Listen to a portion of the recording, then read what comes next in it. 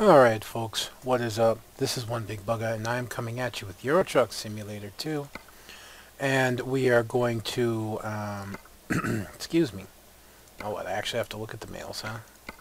There, done. Um, we're going to uh, try to continue on in our career, as you know uh, from the last episode, uh, since the patch came out, uh, my mods went haywire and even though I replaced them, it refused to load the game, so I've had to go back to scratch after 20 some odd episodes. Yeah. But I tried recording a second episode and the game crashed. Lovely. So, we're going to try again. Now, we're stuck doing quick jobs for a while. Yeah, so be it. So, we're looking at price per distance here. And these two top, this one's pretty close. This is ventilation shaft, interesting. This just says equipment. You see, they're all fairly close. These top three are fairly close. So do we want to run in the Scania? Uh, and it's the Scania Streamline, actually. So it's the, uh, the newer Scania. Uh, do we want the Majestic? Or do we want the Iveco? Well, all three are light loads. 8 tons, 15 tons, and 11 tons. Um, I think distance-wise, though, I'm going to stick with this one. I'm going to keep the video short today. Uh, I'm recording this late at night because, number one, I forgot, and number two, I haven't quite felt up, felt up to it. And tomorrow, uh, I got a bit of a day. I got to take my wife to the doctor's, which is fine. You know, I want to. I, she actually even went to cancel her uh, appointments. She's worried about gas. I said, no, I have money. We'll go. And uh, I want to take her, so.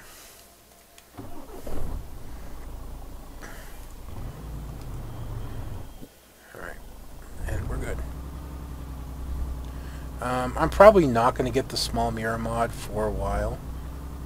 But um, I will look into getting one. Just right now it just doesn't seem to be working. Um, but I can live with the larger mirror for now. Right, this worries me because this type of trailer, these trucks, always tend to get hung up.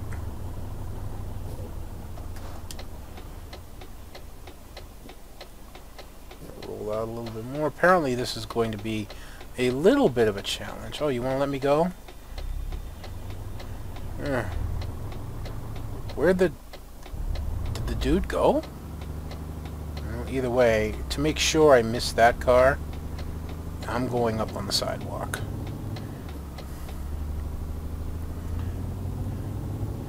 I probably didn't have to do that, but all things considered, I wanted to just to make sure that uh, uh, I didn't end up hitting the car because you know how the AI can be in this game. We'll swing way wide. Probably not long after we get out of town I'm going to do a, a resync for the voice. Although, again, my... Let's stop really short just because. I usually try not to call attention to the fact I'm going to do that. It makes them a little less jarring, I guess, because you tend to anticipate them. Interesting, we actually get a better frame rate outside the truck. No lift axle in this version.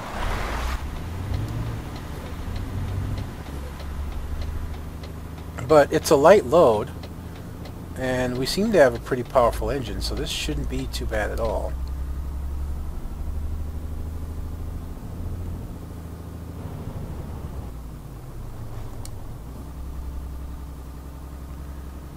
Friend, I know you're alongside of me, but could you not? Because this is going to be a difficult corner. Uh, oh, we skirted it, but we made it.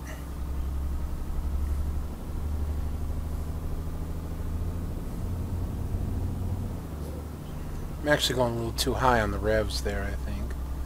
That's how I go, and I listen to the revs, so I tend to shift um, higher up. I'm not quite sure what's going on with the frame rate. It should improve by now, now that we're out of uh, town, and it's still staying a little bit low. But, what can you do? I'm not running anything else. I've shut everything else down, as I usually do. Well, that's not 100% true, I suppose. I'd be careful on the speed. I mean, we are on a back road after all. So, now this is where it crashed. Yeah, it, it crashed early, so hopefully it gets a little bit better.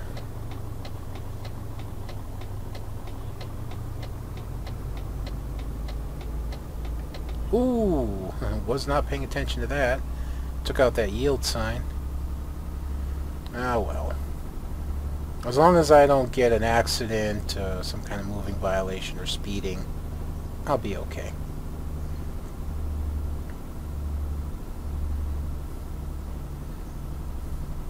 Little bit of a hill climb, nothing major though.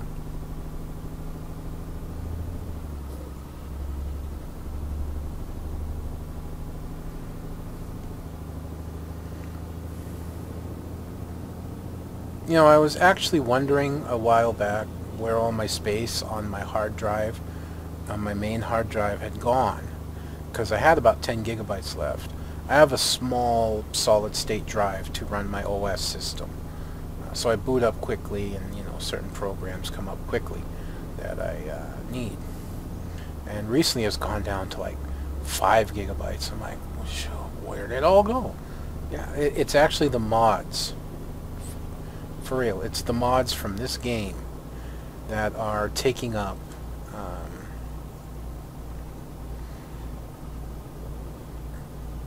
a lot of the space. Because I actually deleted the uh, mod folder and moved all the mods, and the mods are, are huge. They take up a lot of room, and I was actually kind of surprised at how much room the mods took up. It was rather impressive but it's not too bad.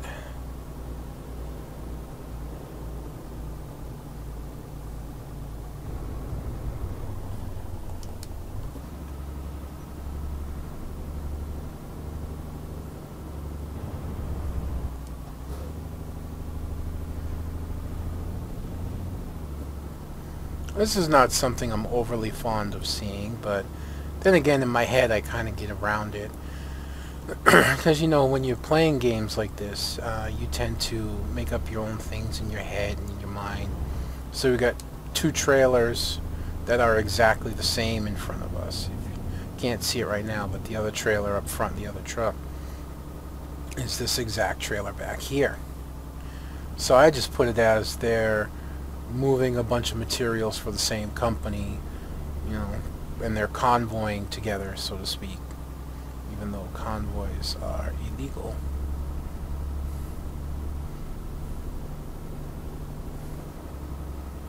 Well, unless they're like military or something of that nature.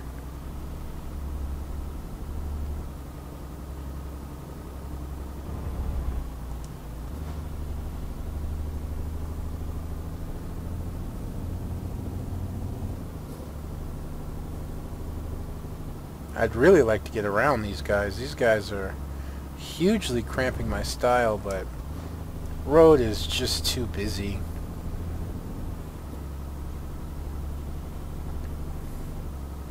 Just too busy to even think. And there's a lot of trucks up ahead as well anyway, so it's kind of not a lot of point. I've been wanting to put out a, a, vlog video for a little bit because I got some things I want to talk about. And um,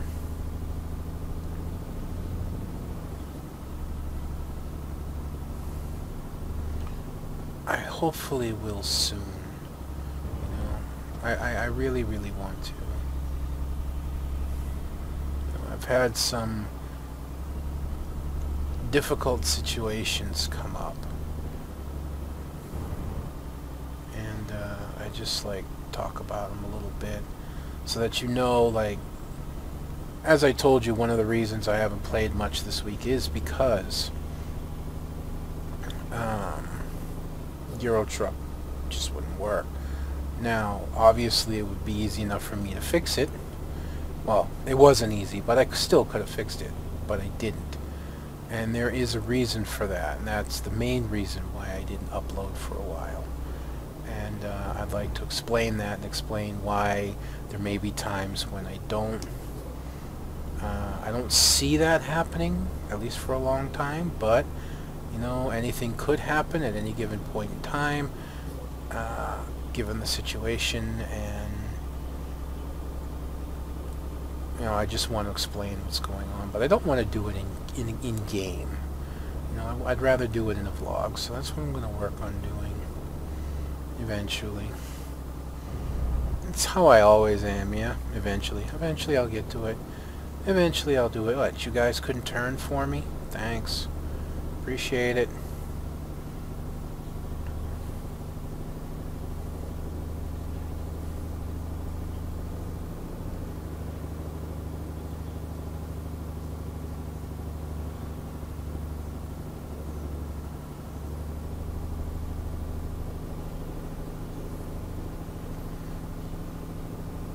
You know, I wonder um, how much longer before American Truck Simulator comes out.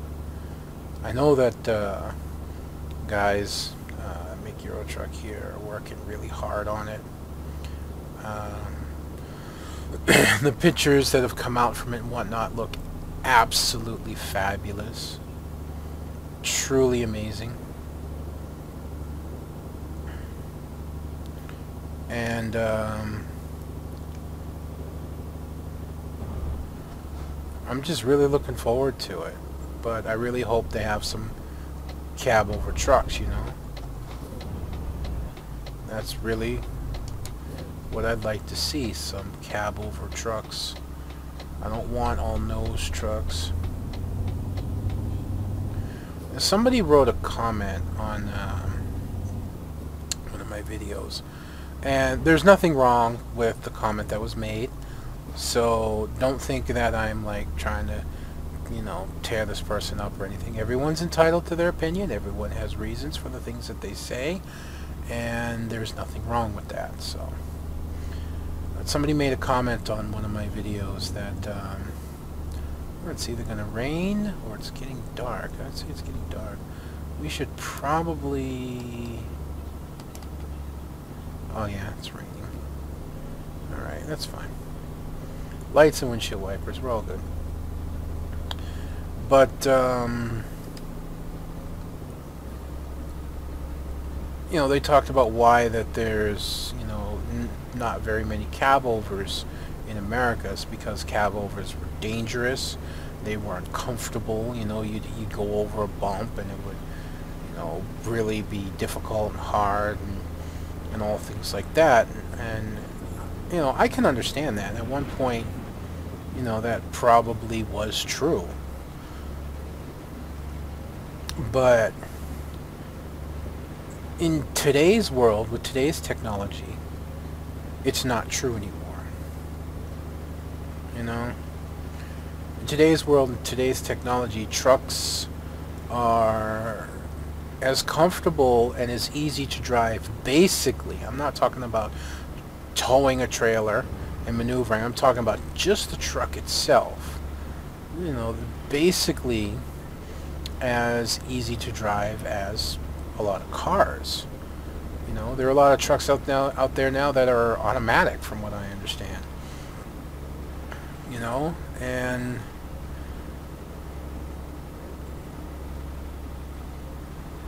they're very comfortable. You know, they have amazing suspension, steering control, uh, all that. If, if, if you've watched all the promotional things that Volvo did for their new uh, steering that they've put in their trucks, and Scania has done stuff for their steering and for their throttle control and, and all kinds of things. You know, trucks are at, the peak of technology in terms of road vehicles, and they have to be. And the thing that kind of proves that cab overs are really good trucks nowadays and, and are really viable is the fact that, well, we're staring at the proof right now. Euro Truck Simulator, European trucks. They're predominantly cab over trucks. You know, there are, you know, by, by and far more cab over trucks than nosed in Europe as far as I know. And many other places in the world. And I still think that cab overs are better trucks than nose for a lot of reasons. Number one, maneuverability.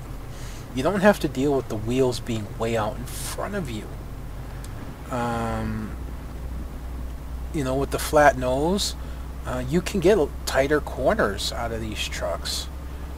Um, you know, it's easier to judge if you're going to hit something or not especially with the front mirrors. You know, you don't have all that truck out there in front of you. Visibility. You know, you don't have that big nose that blocks out a lot of your vision. That's not to say that there's not faults and problems. And I know a lot of people out there prefer nose trucks. And hey, that's fine. I'm not here to say, you know, to knock you down. Uh, I just think cab overs are better.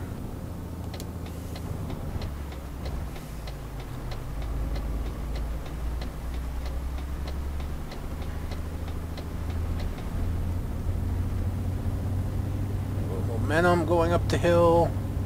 It's not a heavy trailer, so should be fine. Yeah, we're all good. But, you know, just it's just the way I feel, you know, better visibility, better maneuverability, easier to judge.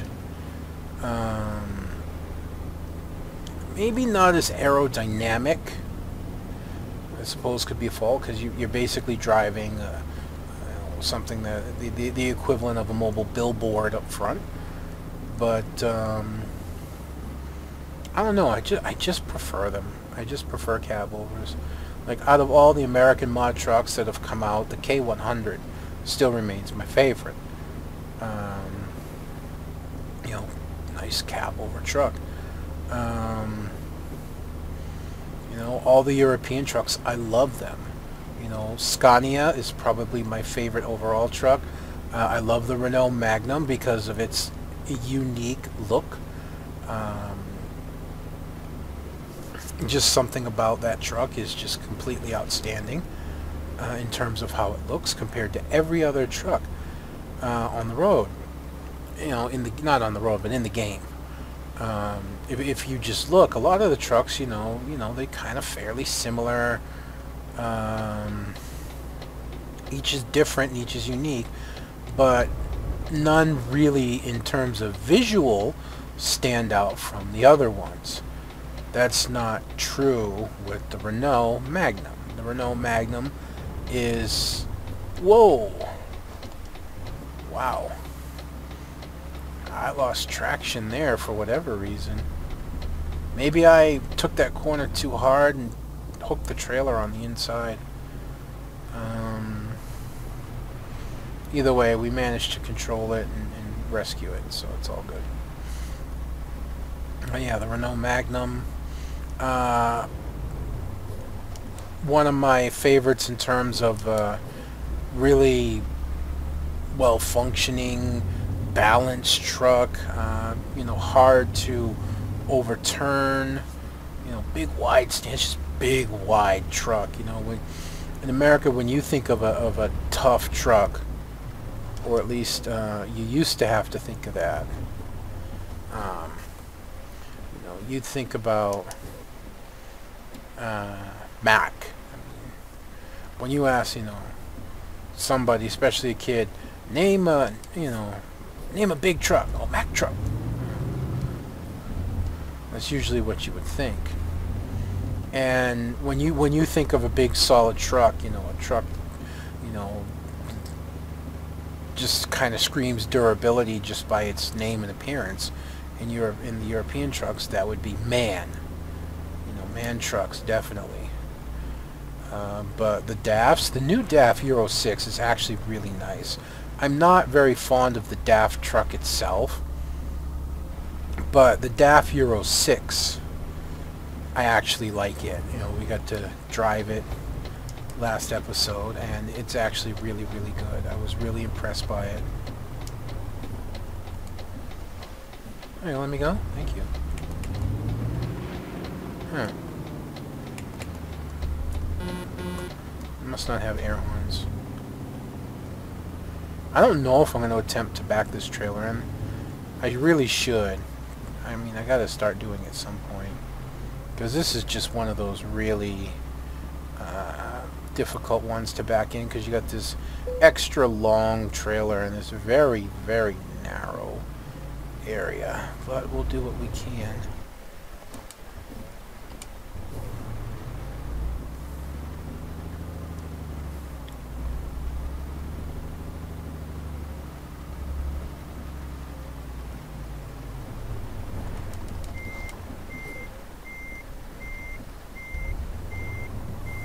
Didn't help that I set up a really bad approach.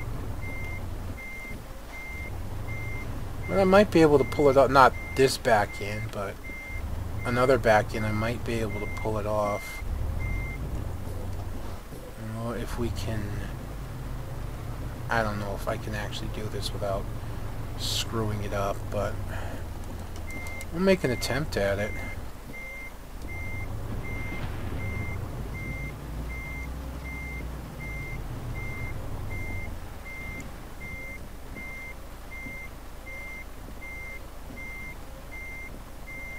Come on. Oh, we got it. There we go. Wow. Pretty good. Pretty good, actually. Sadly, we didn't level up still, but... C'est la vie. So, that is actually going to be me done for this episode, folks. I just want to check the bank real quick. Um, yeah, we, we can't get the $400,000 loan, which um, is fine. Um, like I said, I want to check some stuff out before I buy my own truck anyways. So, um, I said short episode. Why don't we take a look and see what maybe we're going to take on the next run. Um, everything paying about the same down the line from 428 to 426.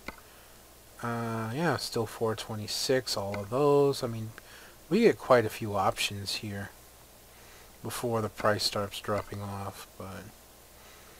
Uh, so let's see, we got concrete pipes, concrete pipes, expanded, expanded clay, whatever that is, uh, wire, batteries. I did unlock cargo, didn't I? Uh, that looks kind of fun right there. Um, just because it's something, I don't know, dairy products, batteries, paint, batteries, uh, car accessories, planks. I don't know. I don't know, maybe we'll take the Iveco. There's another uh, Euro 6 here. We could uh, take that out for another spin and you do that expanded clay stuff. That could work. I, I'm, I'm enjoying the DAF a lot. Uh, of course, we get the old uh, Scania Streamline here. Um, Volvo, and looks like a couple of Echoes. Not sure. You know, this this is not uh, an easy choice for me. I may just um, choose one up randomly, but yeah. Oh no, I unlocked long distance. That was actually kind of foolish for me. I should have put it into high value. Um, but I w I wasn't paying attention. It's, it's, natural for me to go one, one, one, one, and then from there on. Uh, but it's okay. Next run, maybe the run after, will have high value unlocked. But anyways, I've talked long enough. Uh, keep watch out for that uh, vlog to come along at some point. But uh, other than that, this will be one big bugga. Signing out, Euro Truck Simulator 2. I'll catch you next time.